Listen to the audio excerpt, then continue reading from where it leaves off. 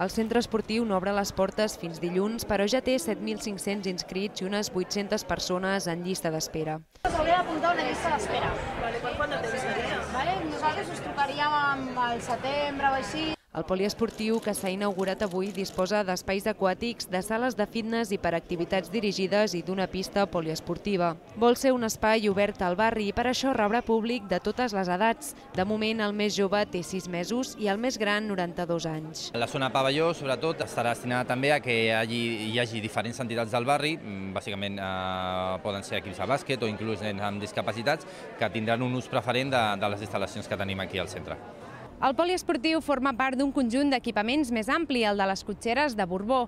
Al seu costat, el Centre Integral de Salut ja està en funcionament i també ha obert al públic l'aparcament subterrani. Seran 22.000 metres quadrats de serveis que es completaran amb l'obertura d'una biblioteca i d'un casal per a la gent gran.